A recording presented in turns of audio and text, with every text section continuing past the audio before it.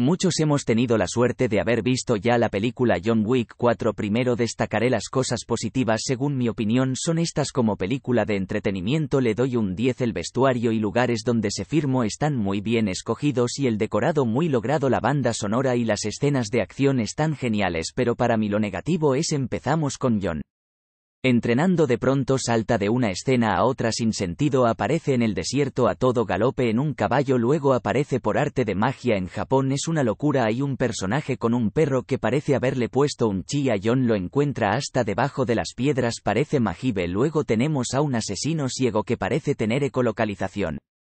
Es más rápido que todos esquivando balas, pero no podemos pedirle más con lo que cuesta la producción de una película y la piratería como esta tienen que centrarse en hacer películas espectaculares de acción pero con poco contenido pero para pasar un momento divertido solo o acompañado está muy bien está llena de tiros peleas a espada y muchas explosiones sinceramente las dos primeras tenían mejor lograda la trama.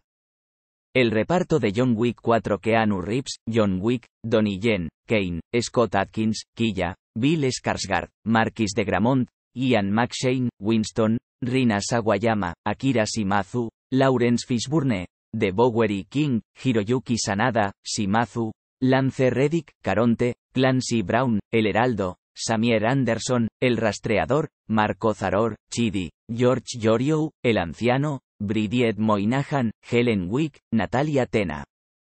Y muchos más. Sin embargo, la vuelta de John Wick a los cines de todo el mundo ha sido un éxito. La cuarta entrega de la saga producida por Lionsgate ha arrasado en la taquilla, no se le puede quitar el mérito.